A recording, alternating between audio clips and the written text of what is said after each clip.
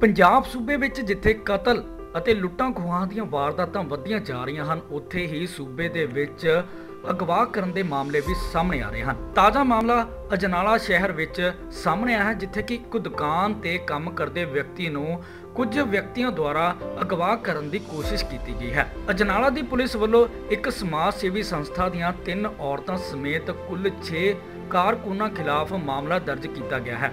ਇਸ ਸੰਬੰਧੀ ਜਾਣਕਾਰੀ ਦਿੰਦਿਆਂ ਪੁਲਿਸ ਚੌਂਕੀ ਅਜਨਾਲਾ ਦੇ ਇੰਚਾਰਜ ਏਐਸਆਈ ਸੁਖਜੀਤ ਸਿੰਘ ਨੇ ਦੱਸਿਆ ਕਿ ਸ਼ਿਵਮ ਸਰੀਨ ਵਾਸੀ ਰਾਮਨਗਰ ਅਜਨਾਲਾ ਨੇ ਦਿੱਤੇ ਬਿਆਨਾਂ ਵਿੱਚ ਦੱਸਿਆ ਹੈ ਕਿ ਉਹ ਤੇ ਉਸ ਦਾ ਮਾਮਾ ਯੁਵਰਾਜ ਚੱਡਾ ਰਾਜਾ ਇਲੈਕਟ੍ਰੋਨਿਕ ਦੀ ਦੁਕਾਨ ਤੇ ਕੰਮ ਕਰਦੇ ਹਨ ਅਤੇ ਅੱਜ ਵੀ ਉਹ ਦੁਕਾਨ ਤੇ ਮੌਜੂਦ ਸਨ ਕਿ ਦੁਪਹਿਰ ਦੇ ਸਮੇਂ ਦੁਕਾਨ ਦੇ ਬਾਹਰ ਇੱਕ ਗੱਡੀ ਆ ਕੇ ਖਲੋਂਦੀ ਹੈ ਜਿਸ ਗੱਡੀ ਅੱਗੇ ਹਿੰਦੀ ਵਿੱਚ ਭਾਰਤੀ ਸਮਾਜ ਸੇਵਾ ਸੰਸਥਾ ਲਿਖਿਆ ਹੁੰਦਾ ਹੈ, ਉਸ ਵਿੱਚੋਂ ਦੋ ਔਰਤਾਂ ਤੇ ਤਿੰਨ ਆਦਮੀ ਬਾਹਰ ਆਉਂਦੇ ਹਨ, ਜੋ ਆਉਂਦੇ ਸਾਰ ਦੁਕਾਨ ਦੇ ਅੰਦਰ ਯੁਵਰਾਜ ਚੱਡਾ ਬਾਰੇ ਪੁੱਛਦੇ ਹਨ। ਤਾਂ ਉਸ ਦਾ ਕਹਿਣਾ ਸੀ ਕਿ ਉਸ ਦੇ ਮਾਮਾ ਨੇ ਅੱਗੇ ਹੋ ਕੇ ਦੱਸਿਆ ਕਿ ਉਹ ਯੁਵਰਾਜ ਚੱਡਾ ਹੈ ਅਤੇ ਔਰਤਾਂ ਨੂੰ ਕੰਮ ਦੇ ਸਿਲਸਿਲੇ ਬਾਰੇ ਪੁੱਛਿਆ। ਤਾਂ ਉਕਤ ਔਰਤਾਂ ਨੇ ਵਿਅਕਤੀ ਨੂੰ ਜਵਾਬ ਦਿੱਤਾ ਕਿ ਤੇਰੀ ਪਤਨੀ ਹਰਪ੍ਰੀਤ ਕੌਰ ਵਾਸੀ ਰਾਜਾ ਸਾਂਸੀ ਨੇ ਉਹਨਾਂ ਨੂੰ ਦਰਖਾਸਤ ਦਿੱਤੀ ਹੈ ਕਿ ਫੜ ਲਿਓ ਅਤੇ ਪਰਚਾ ਦਰਜ ਕਰ ਦਿਓ।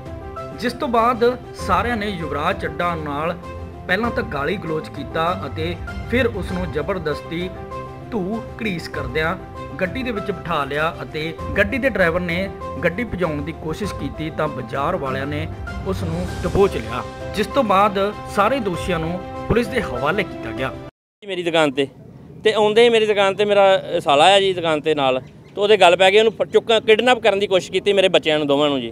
ਕੌਣ ਕੌਣ ਸੀ? ਇਹ ਪੰਜ ਸੱਤ ਜਣੇ ਹੈਗੇ ਜੀ ਪਤਾ ਨਹੀਂ ਕਿੱਥੋਂ ਆਏ ਕਈ ਕਹਿੰਦੇ ਅਸੀਂ ਚੰਡੀਗੜ੍ਹੋਂ ਆਏ ਕਦੀ ਕਿਤੋਂ ਆਂਦੇ ਆ ਕਦੀ ਆਂਦੇ ਐਸਐਸਪੀ ਨੂੰ ਅਸੀਂ ਲੈ ਕੇ ਆਉਣ ਲੱਗੇ ਜੇ। ਕਦੀ ਮਤਲਬ ਸਾਰਿਆਂ ਧਮਕੀਆਂ ਦੇਈ ਜਾਂਦੇ ਆ ਪੁਲਿਸ ਦੀਆਂ।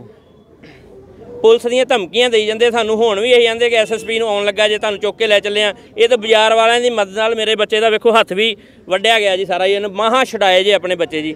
ਇੰਨੀ ਇਹਨਾਂ ਨੇਰੀ ਨੇਰ ਕਰਦੀ ਚੁੱਕੀ ਆ ਪਤਾ ਨਹੀਂ ਕਿੱਥੋਂ ਦੇ ਬੰਦੇ ਆ ਕਿੱਥੋਂ ਦੇ ਨਹੀਂ ਅਸੀਂ ਤਾਂ ਜਾਣਦੇ ਵੀ ਨਹੀਂ ਇਹਨਾਂ ਨੂੰ ਜੀ। ਇਹ ਜੀ ਸਾਰੇ ਜਲੂਸ ਕੱਢਤਾ ਸਾਡਾ ਜੀ ਇਹਦੇ ਨਾਲ ਕਿ ਚੌਂਕ 'ਚ ਸਾਡੀ ਮੇਰੀ ਦੁਕਾਨ ਹੈ ਸ਼ਿਵਮ ਇਲੈਕਟ੍ਰੋਨਿਕ ਦੇ ਨਾਂ ਤੇ। ਇੱਕ ਲੇਡੀਜ਼ ਵੀ ਨੇ ਵਿੱਚ? ਇਹ ਦੋ ਲੇਡੀਜ਼ ਹੈ ਜੀ ਤੇ ਤਿੰਨ ਤਿੰਨ ਚਾਰ ਬੰਦੇ ਜੀ ਇਹਨਾਂ ਦੇ ਨਾਲ ਹਨਾ? ਪਤਾ ਨਹੀਂ ਕਿਹੜਾ ਗਰੋਹ ਆ ਕਿਹੜਾ ਨਹੀਂ ਗਰੋਹ ਆਪਾਂ ਨੂੰ ਨਹੀਂ ਇਹਨਾਂ ਨੂੰ ਜਾਣਦੇ। ਇਹ ਆਂਦੇ ਮਤਲਬ ਸਾਨੂੰ ਹਾਂ? ਗੱਡੀ 'ਚ ਭਾਲਿਆ ਬਾਜ਼ਾਰ ਵਾਲਿਆਂ ਦੀ ਮਦਦ ਨਾਲ ਬੰਦੇ ਛਡਾਏ ਆ ਜੀ ਇਹੀ। ਇਹ ਤੇ ਬਹੁਤ ਇਹਨਾਂ ਗੁੰਡਾਗਰਦੀ ਕਰਤੀ ਕੀਤੀ ਹੈ ਜੀ ਪਤਾ ਨਹੀਂ ਕਿੱਥੋਂ ਦੇ ਅੱਤਵਾਦੀ ਹੈ ਜੀ। ਮੈਨੂੰ ਤਾਂ ਅੱਤਵਾਦੀ ਹੀ ਲੱਗਦੇ ਜੀ ਕਿਡਨੈਪ ਕਰਨ ਵਾਲੇ ਸ਼ਰੇਆਮ ਦਿਨ ਦਿਹਾੜੇ ਚੁੱਕ ਕੇ। ਪੁਲਿਸ ਦਾ ਵੇਸ ਬਣਾ ਗਿਆ ਹੈ ਜੀ ਇਹ ਕਹਿੰਦੇ ਪੁਲਿਸ ਵਾਲੇ ਆ। ਤੇ ਇਹਨਾਂ ਨੂੰ ਸਖਤ ਤੋਂ ਸਖਤ ਕਾਰਵਾਈ ਹੋਵੇ ਜੀ ਇਹਨਾਂ ਤੇ। ਇਹਨਾਂ ਨੂੰ ਜੋ ਇਹਨਾਂ ਦਾ ਬੰਦਾ ਸਾਨੂੰ ਇਨਸਾਫ ਦਿੱਤਾ ਜਾਵੇ ਇਹਨਾਂ ਇਹਨਾਂ ਭੱਦੀ ਸਦਾਵਲੀ ਬੋਲੀ ਹੈ ਜੀ। ਸਾਰੇ ਬਾਜ਼ਾਰ ਨੂੰ ਪੁੱਛ ਲਓ ਸਾਡੀ ਇੰਨਾ ਗੰਦ ਬੋਲਿਆ ਮੈਂ ਦੱਸ ਨਹੀਂ ਸਕਦਾ ਜੀ। ਅਸੀਂ ਤੇ ਅਸੀਂ ਤੇ ਪੈਸਾ ਜੀ ਪਤਾ ਨਹੀਂ ਹੁਣ ਵੇਖਾਂਗੇ ਜਾ ਕੇ ਦੁਕਾਨ ਤੇ। ਵੇਖਿਆ ਨਹੀਂ ਜੀ ਨੁਕਸਾਨ ਵੀ ਕਰਕੇ ਆਏ ਸਾਡੀ ਦੁਕਾਨ ਦਾ ਜੀ। ਵੀਡੀਓ ਹੈਗੀ ਹੈ ਸਾਡੇ ਕੋਲ। ਸਾਰਾ ਨੁਕਸਾਨ ਸਾਡੇ ਫੋਨ ਹੈ ਜੀ ਕਈ ਕੁਝ ਸਾਡਾ ਸਮਾਨ ਹੈ ਜੀ ਕੀਮਤੀ ਸਮਾਨ ਹੈ। ਹੁਣ ਮੈਂ ਤਾਂ ਹੁਣੇ ਦੇਖਿਆ ਆਣ ਕੇ ਜੀ ਦੁਕਾਨ ਤੇ ਗਿਆ ਨਹੀਂ ਇਹਨਾਂ ਨੂੰ ਫੜ ਕੇ ਪੁਲਿਸ ਥਾਣੇ ਦਿੱਤਾ ਜੀ ਹੁਣ ਆਪਾਂ। ਫੜ ਕੇ ਸਾਰੇ ਬਾਜ਼ਾਰ ਨੇ ਇਕੱਠਿਆਂ ਕਰਕੇ ਜੀ।